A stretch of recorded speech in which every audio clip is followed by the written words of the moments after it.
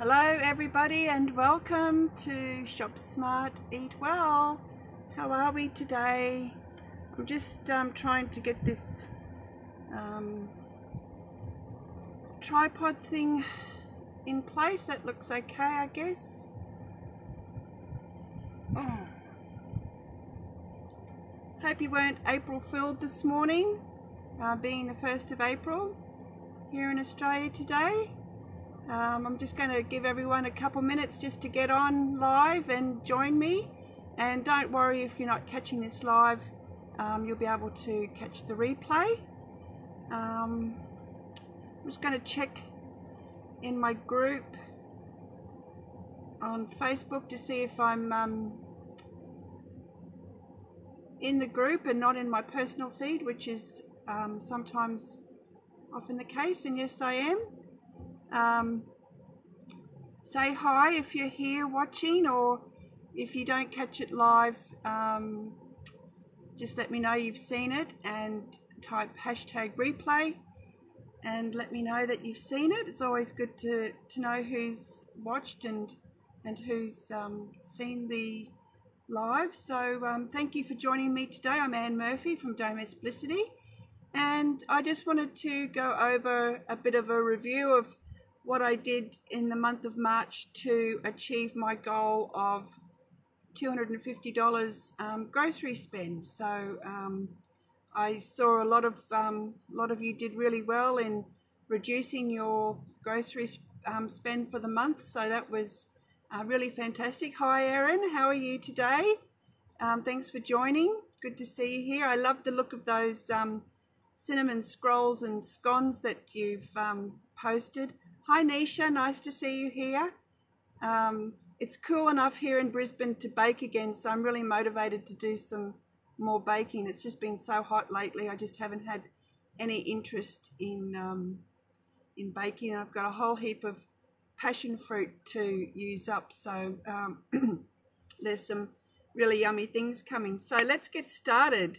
Um, I want you to know too that I've got a special little surprise for you at the end of this, um, I bet. Um, I've got a special little surprise for you um, at the end of the broadcast, so stay stay with me and I'll let you know what that is. So um, let's go. So um, the exact amount that I spent for the month was $245.95. So um, even a couple dollars shaved off of that. And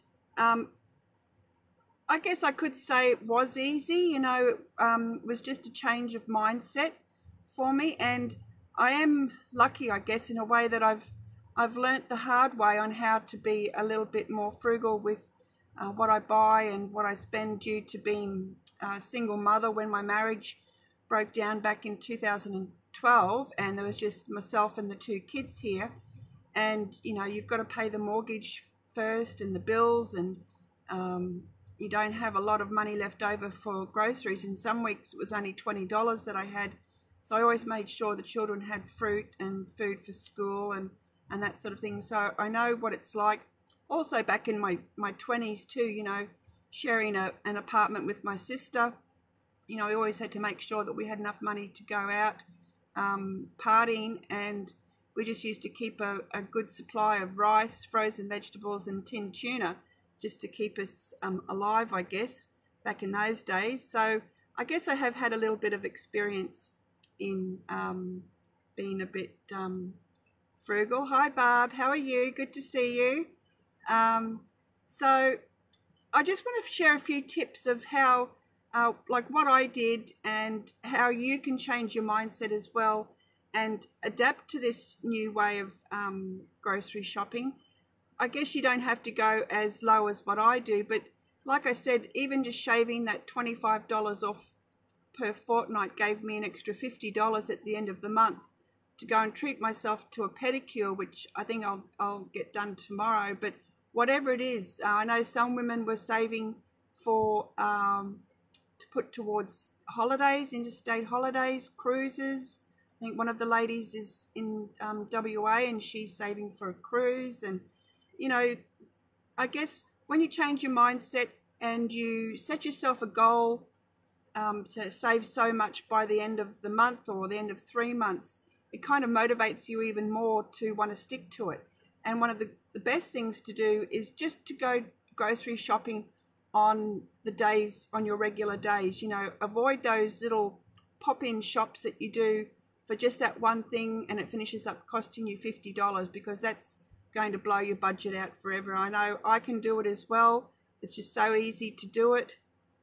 Um, you know, you might think, oh, I just need another loaf of bread just to see us through. Well, when you get to uh, realize that there's so many other substitutes for bread that you can easily make at home, which I think I did post um, in the group, you know, make the kids some pancakes or crepes or, um, you know, you can make a really simple uh, loaf of bread, an Irish soda bread just with flour and soda or a, a damper even can be made in the oven.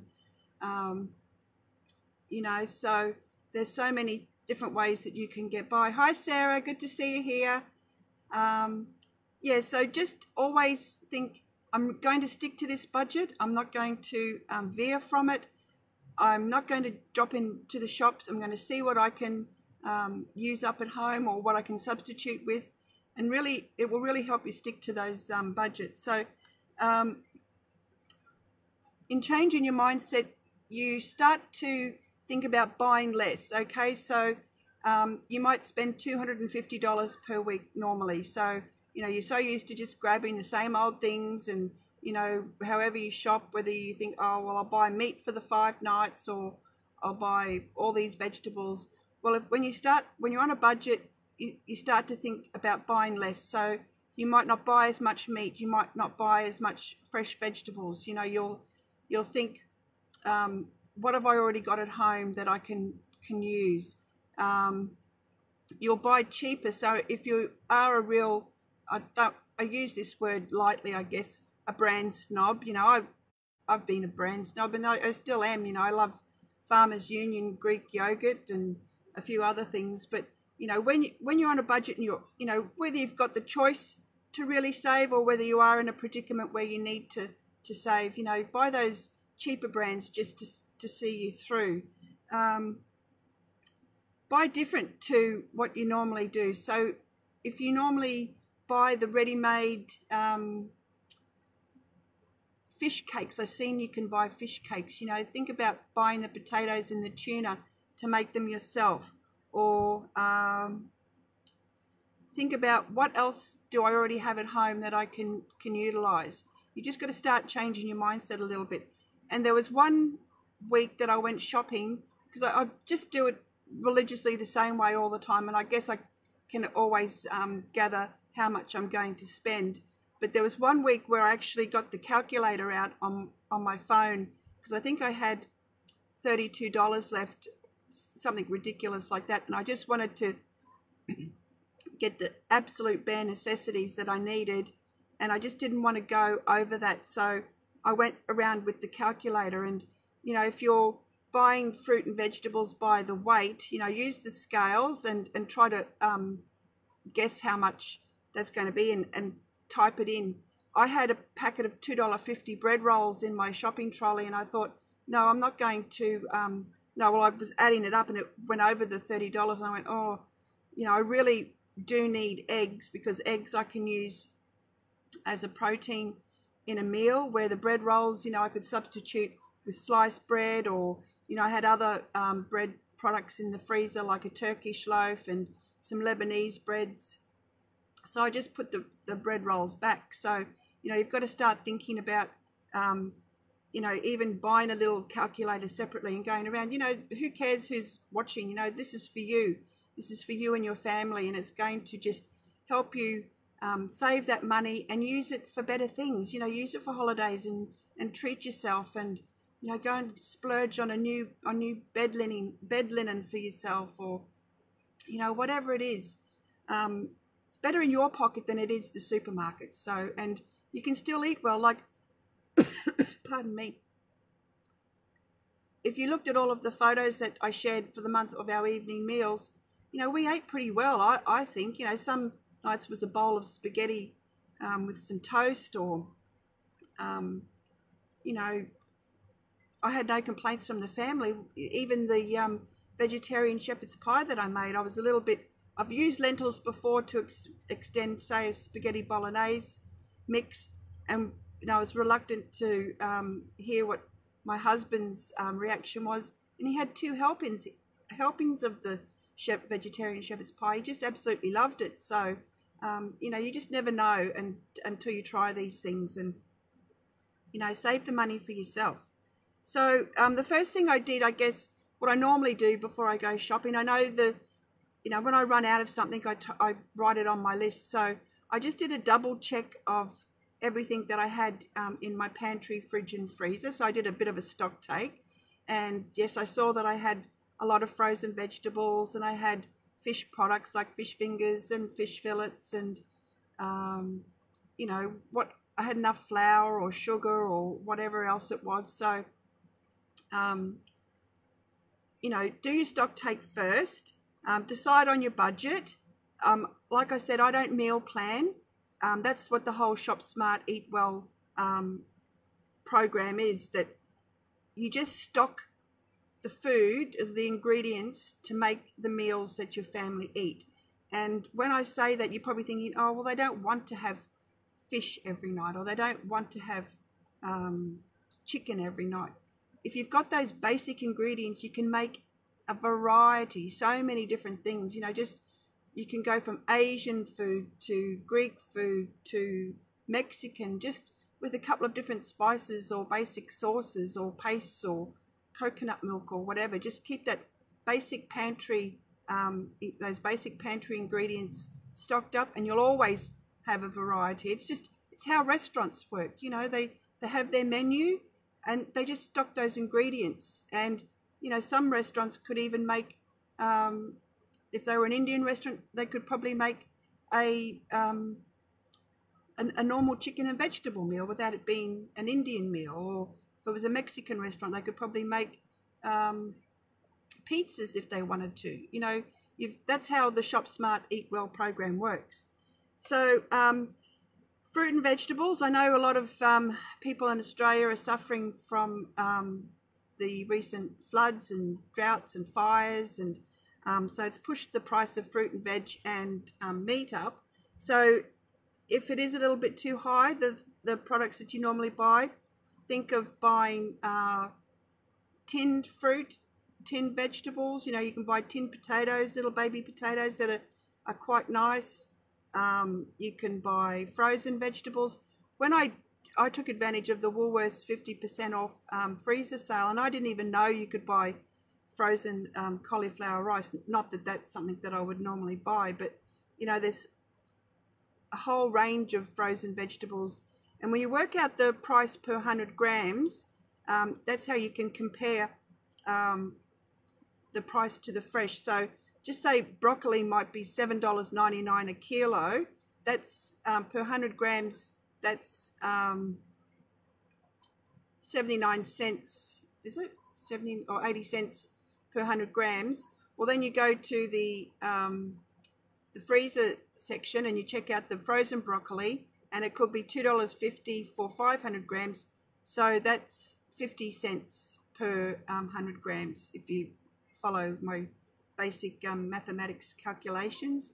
So you're going to be saving a lot there and it keeps, you know, with fresh broccoli, you've got to make sure you use it up really quickly. With um, the frozen, you know, you've got it there for a month or a couple of months. So that's what you do with that. Same with um, meat, you know, meat's really expensive and it's something that I'm really looking forward to buying. I guess I didn't um, realize how much I did um, enjoy meat products, but we ate quite a lot of fish um, this during this um, challenge. So, you know, frozen fish fillets are still around $7 a, a kilo from Coles.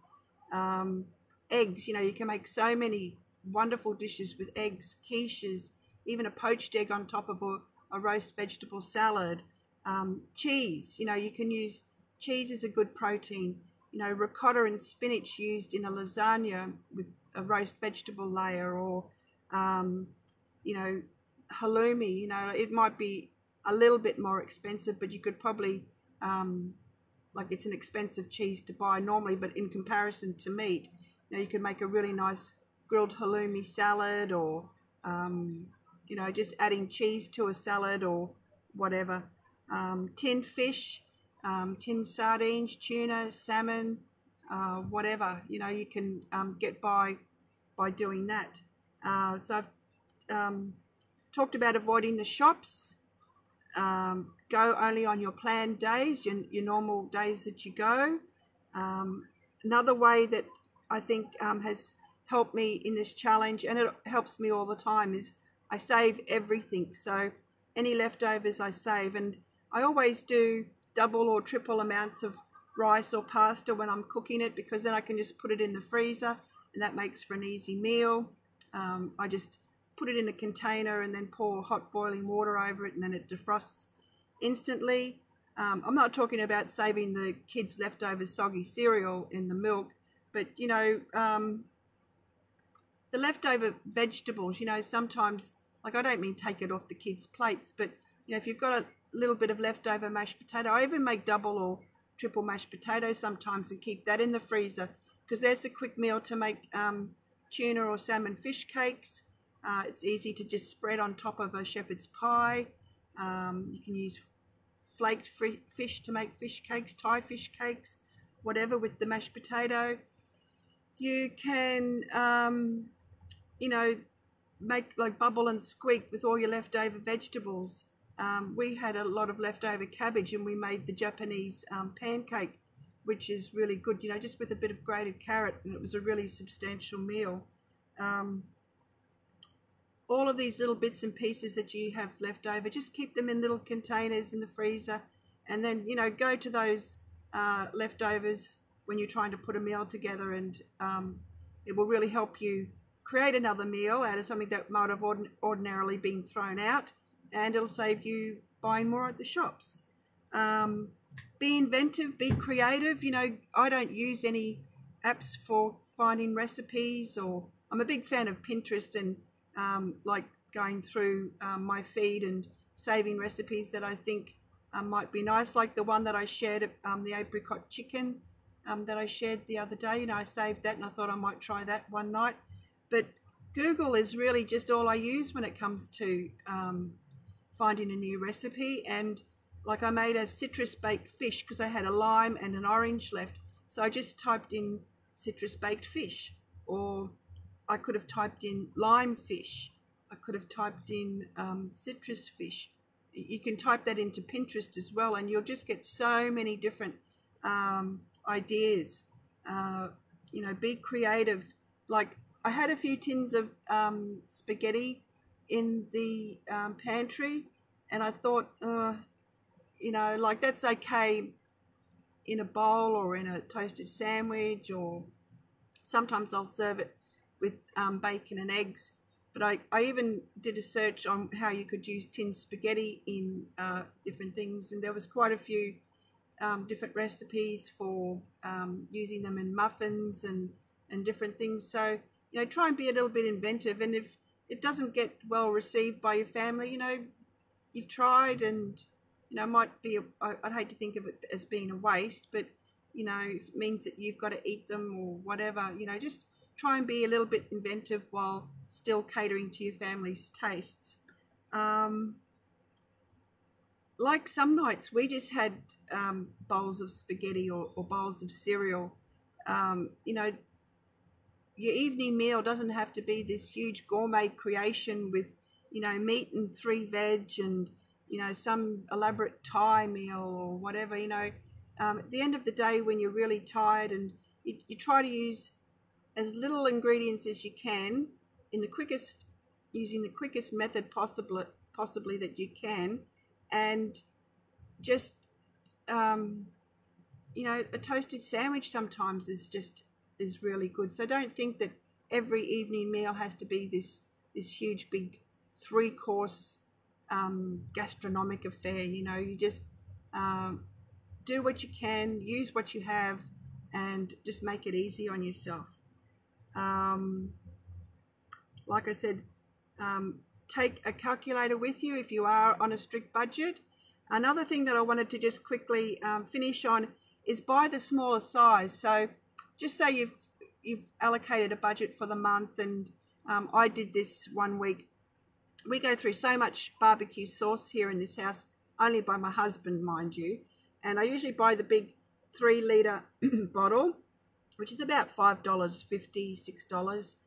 And if you are just trying to stretch your money a little bit further, just buy the smaller bottle for about a dollar eighty, or you know the toilet paper. Just if you're buying the big thirty pack roll of toilet paper for ten or twelve dollars, you know buy the the cheaper home brand um, pack of eight for say two dollars fifty or three dollars fifty. Um, just just while you're on in this savings mode and um, setting yourself these um, this budget and you want to stick to it. So just think about buying smaller lot and all of the other things that I mention in the group all the time. You know, don't buy the cleaning products. Use basic vinegar and bicarb soda or um, use dishwashing detergent. Use water. I use water in nearly everything that I clean with a microfiber cloth. You know, it comes up clean.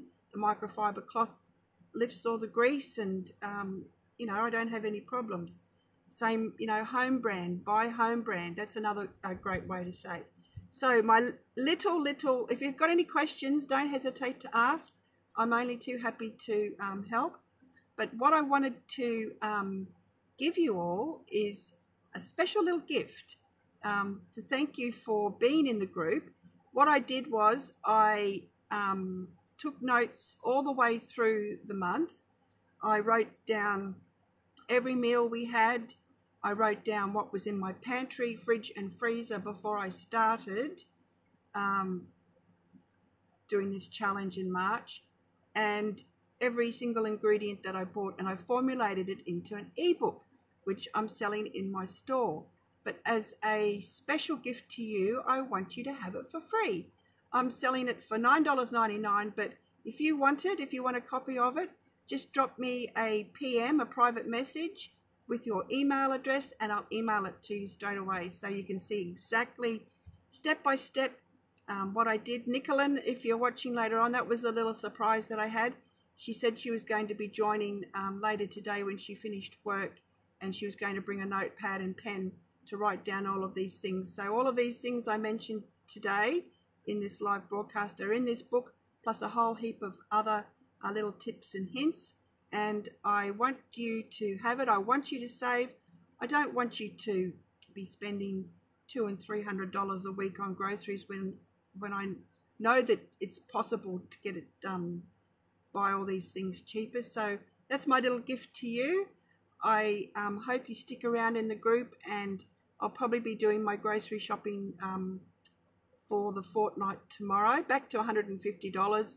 I like I've still got plenty. Like I'll, I've got plenty of food for dinner tonight. I've got fish planned, so you know I'm already thinking of inventive and creative ways to try something different with the family. Um, you know, just try to create the variety. If you feel like you're not an inventive cook, you know, just like I said, type things into Google, type things into Pinterest, and um, see what's out there. Just using the ingredients that you have.